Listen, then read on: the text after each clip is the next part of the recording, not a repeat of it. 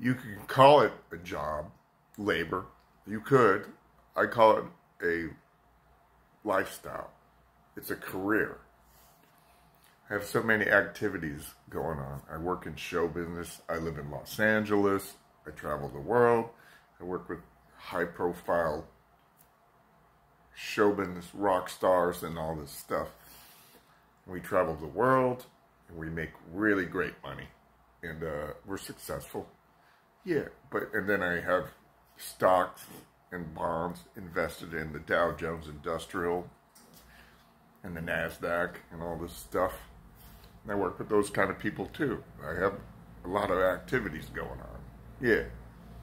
I'm very professional. I don't know where I get the energy from, but I'm almost, I'm, I'm basically almost 60 years old.